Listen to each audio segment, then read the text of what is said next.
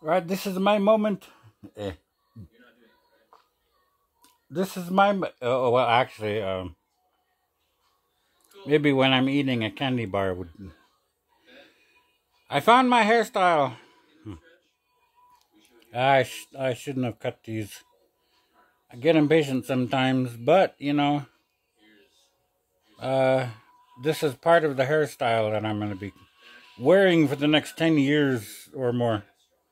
Long hair, but then the sideburns are going to be a bit shorter. So I obviously, I obviously had to cut the. the so, oh, but anyway, uh, so here's my hairstyle.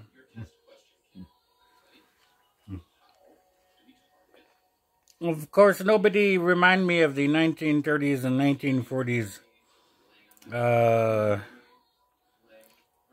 long sweeps and uh, chignons and the uh, uh, top of the head quiffs.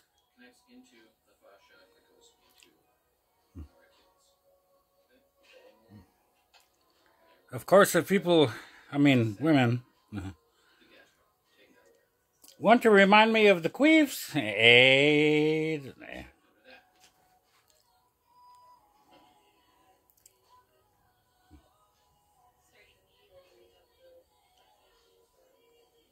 well, anyway, yeah, it's growing out.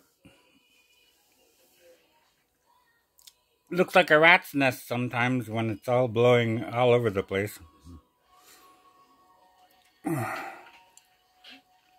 Like tonight's little chicken uh, uh, uh, introduction video to everyone on my on well on on my friends um, uh, list of uh,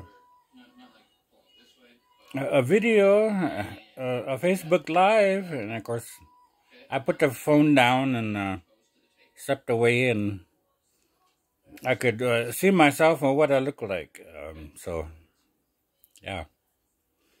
which is exactly the image that I hope to portray, you know.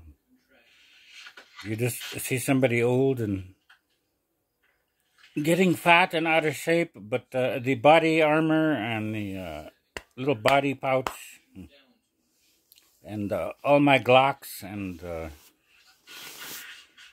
G-locks and uh, other stuff is uh, safe.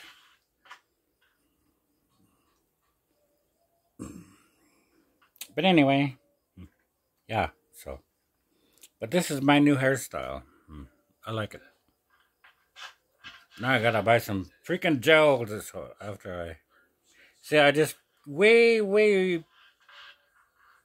An overcomb. And once.